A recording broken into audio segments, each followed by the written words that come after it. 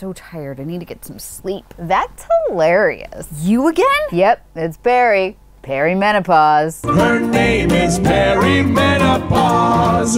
You said you needed sleep. I do. I haven't slept through the night in weeks. That's my B. What? Keeping you up at night is some of my best work, actually. I have a big day tomorrow. Girl, me too. My video drops. Your video? You know those medical commercials where 90% of the ad is just listing all the terrible things that'll happen to you? Yeah? Well, mine is just the bad stuff. Check it. Have you met Perry?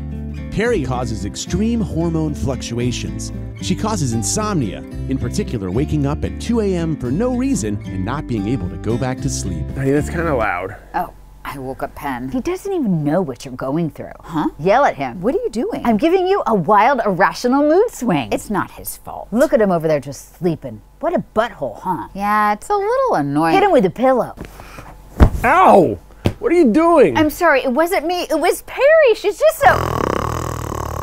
And he's back to sleep. It's so annoying. Yes, let that annoyance turn to anger and then rage. What is happening to me? Just keep watching the video.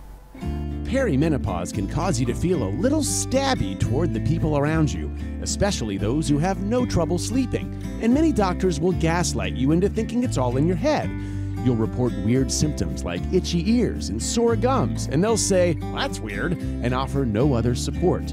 Meanwhile, Perry will also cause intrusive thoughts. intrusive thoughts. Do you ever think about how we might just be living in a simulation and none of this is real? Yeah. What if next week when you're on vacation, the sitter accidentally leaves the fence open and then the dog runs out and you never see her again? Why would you say that? Ooh, what else? Okay, what if those new tires you just put on your daughter's car suddenly shred on the highway? Are you trying to make me panic? yep, you're gonna be up all night with that one. Why did you put that in my brain? Oh, I'm starting to feel bad.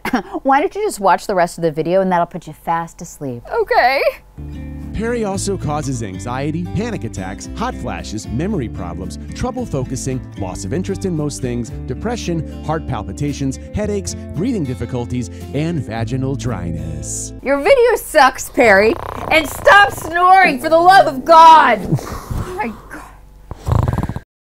I hope you enjoyed that medical pharmaceutical commercial committed to perimenopause. We sure had fun shooting it. It was a lot of fun going out in public in my pajamas. I loved it. And I love my perimenopausal journey.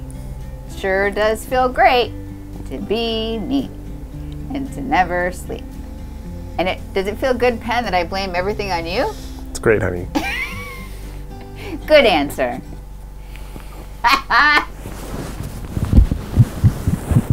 Check out the holdernessfamily.com.